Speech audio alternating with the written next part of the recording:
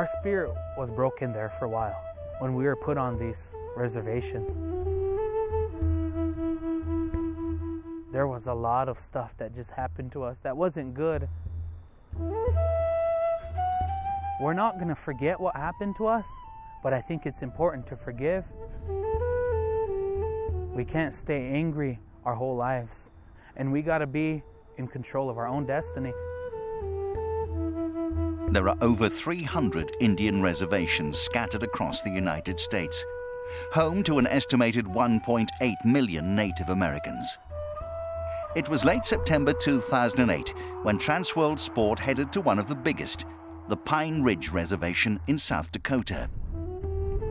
Established in 1868 as part of the Great Sioux Reservation, it was here that arguably the single most brutal act of aggression by US forces against this land's indigenous population took place. What came to pass at Wounded Knee has come to symbolize all the wrongs that were inflicted upon the American Indians. On the 29th of December 1890, it's estimated that over 300 Lakota Sioux were indiscriminately killed by the 7th Cavalry. The massacre of members of Chief Bigfoot's tribe happened as they were making their way across the plains to meet up with Chief Red Cloud, following the murder of Chief Sitting Bull by government agents. The massacre of Wounded Knee on the Pine Ridge Reservation remains one of the most barbaric and tragic events in U.S. history.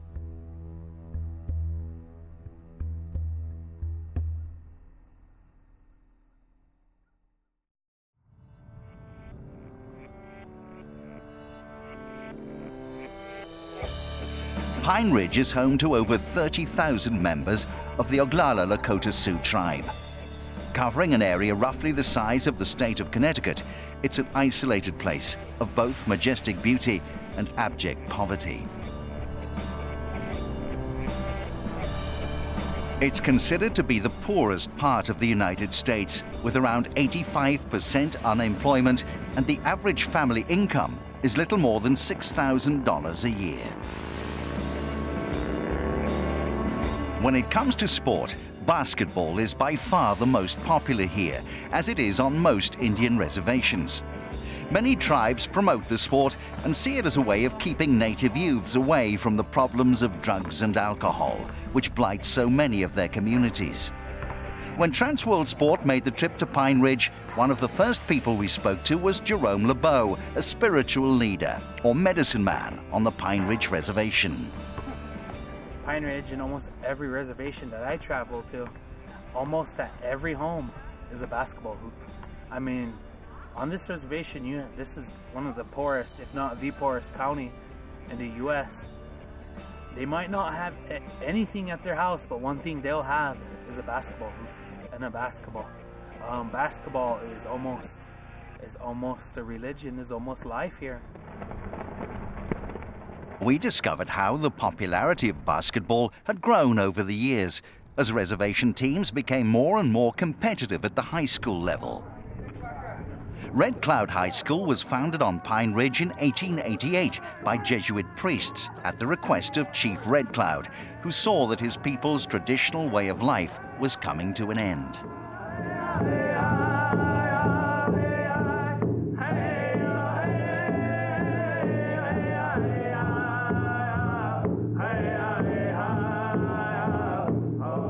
Cloud have long enjoyed a proud basketball tradition. In 1995, led by Jerome LeBeau, they won the South Dakota State Championship. Fast forward 13 years, and Jerome found himself actively involved with the sport at Red Cloud as coach of the girls' team. In 2007, the Lady Crusaders had reached the state championship. The young team finished in a highly creditable sixth place, thanks largely to their standout player, Marky Lunderman. Marky led her team in scoring and steals, and Jerome was confident that she had the potential to play at college level.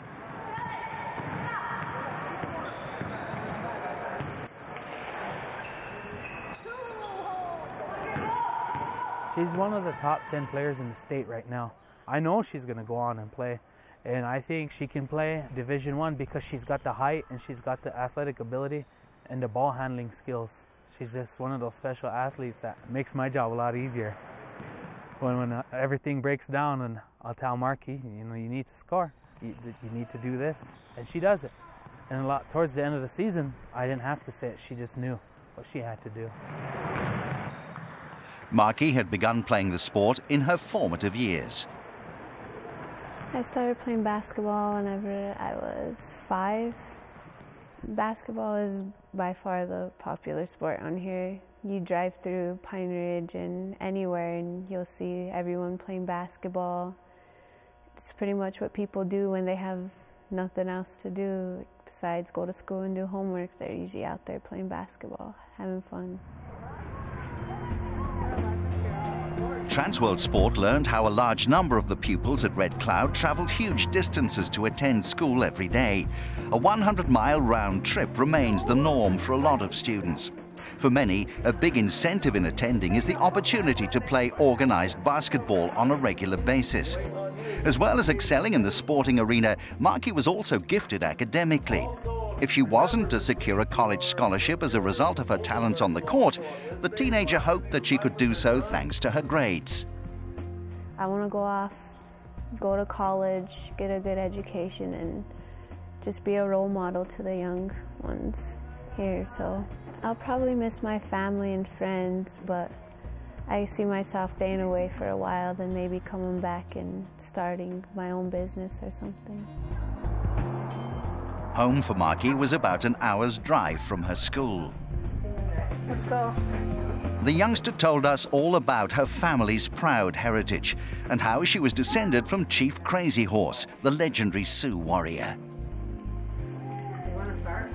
It was at Marky's home where we met up with another talented teenage basketball player, a young man by the name of Carl Swallow. In 2007, Carl had been a key player on the Red Cloud team, which made it to their first state championship in 11 years. The tournament took place in Sioux Falls, over 350 miles from Pine Ridge.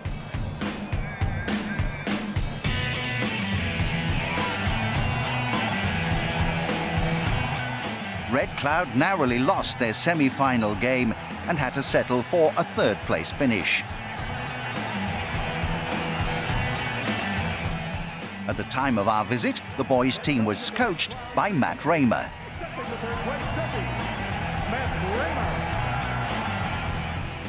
Hailing from Nebraska, Matt had been at the school for six years, having done part of his teacher training here. He believed that his team could improve on the previous season's performance and bring the state title back to the reservation. On this year's team, when they're young, we, we had a lot of seniors graduate last year, I feel like talent-wise, that, that we're as good as any team that we've ever had. And Matt had particular praise for his star player, Carl Swallow.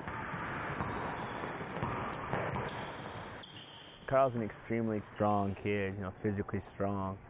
His skill set along with his strength make him really tough to guard or, you know, allow him to do a lot of different things on the basketball court, you know what I mean? And, we, and we've played at a lot of different places and we haven't really seen anybody that's been really, you know, able to stop him consistently, you know, because he can shoot and go to the hoop or you know, makes his team better. He's just, he's just a really good player. On Pine Ridge, as on the reservations throughout America, the great warrior chiefs of the past are still revered. For the young men on the 2008 Red Cloud team, that warrior spirit manifested itself every time they stepped onto the basketball court. In the past, there was a lot of tough boys like Crazy Horse and Sitting Bull, Red Cloud. Today, it's like, it's how we imagine ourselves. Going on to a basketball game and competing, battling against other schools. It's like trying to get the victory, get the job done. Like Marky, Carl was also attracting the attention of a number of colleges. In the US, Native Americans still represent less than 1% of students attending colleges many talented Indian high school basketball players have all too often found the transition from reservation life to city living tough. if you're an inner city kid, if you're inner city inner city black youth, you know, and you go to college and you're from Chicago and you go to school somewhere else and a kid comes from LA, you have similarities, you know, in your life if you're both from the same kind of setting. Now, if you're a native kid from the reservation and you go to school at, at a, at a Division One school, chances are there might not be any other native kids at all in the whole in the whole college, let alone in the, you know, in the basketball team. So I think that you're really, really alone. You know, I mean, the things that you're used to and things that you know, you know, especially from being from the reservation, aren't here. We left Pine Ridge confident that both Carl and Marky would secure college basketball scholarships, and so it proved. Carl went to a college in Nebraska, and Marky graduated from a college in Wyoming with a degree in business administration. She's now back living and working on the reservation, serving as an inspiration for youngsters to take charge of their own destiny and realize their own hoop dreams.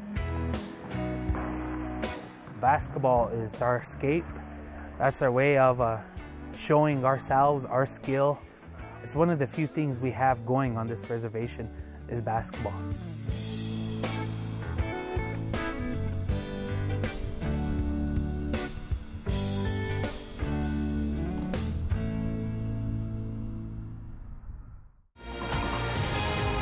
Subscribe now to our YouTube channel for the very best of Trans World Sports.